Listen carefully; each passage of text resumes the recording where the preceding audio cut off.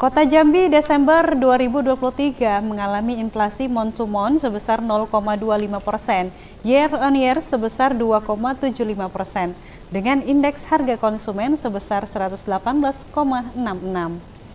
Ya, informasi ini sekaligus menutup perjumpaan kita kali ini. Dan pemirsa, berita Jack TV juga dapat diakses melalui YouTube resmi Jack TV dan jaring media sosial di bawah ini.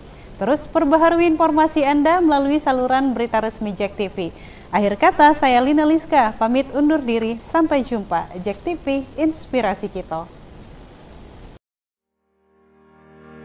Dibanding November, inflasi kota Jambi pada Desember 2023 mengalami penurunan Hal tersebut dikemukakan saat penjabat Wali Kota Jambi, Sri Purwaningsih, mengikuti rapat koordinasi nasional pengendalian inflasi daerah secara virtual pada Rabu 3 Januari 2024.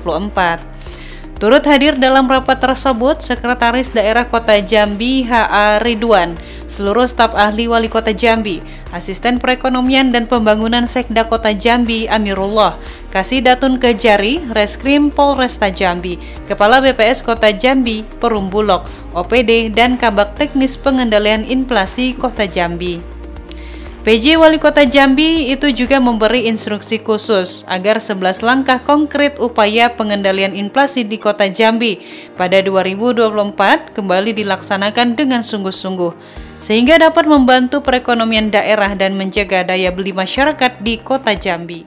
Hari ini saya Pak Sekda beserta seluruh tim pengendalian inflasi daerah Kota Jambi beserta tadi hadir kepala BP, kepala BPS Kota Jambi, kemudian dari Bulog, dari Polri, dari Kejaksaan Negeri dan seluruh kepala OPD yang menangani inflasi ini mengikuti rakornas yang dipimpin oleh Pak Menteri Dalam Negeri langsung dan alhamdulillah dari apa yang disampaikan oleh Pak Menteri Dalam Negeri di inflasi bulan November yang lalu Kota Jambi masuk 10 besar inflasi tertinggi. Dan pagi ini kota Jambi tidak masuk ke dalam 10 kota besar tertinggi. Masuk ke ranking 19 kalau tidak salah. Ya. Jadi kerja keras dari tim pengendalian inflasi daerah kota Jambi membuahkan hasil dan kami tegaskan dalam forum tadi bahwa uh, penurunan angka inflasi di kota Jambi ini jangan membuat kita lengah tetapi terus kita harus bekerja keras karena target kita harus di bawah rata-rata nasional ya. Harus di angka 2, sedikit ya 2,5 lah target kita gitu.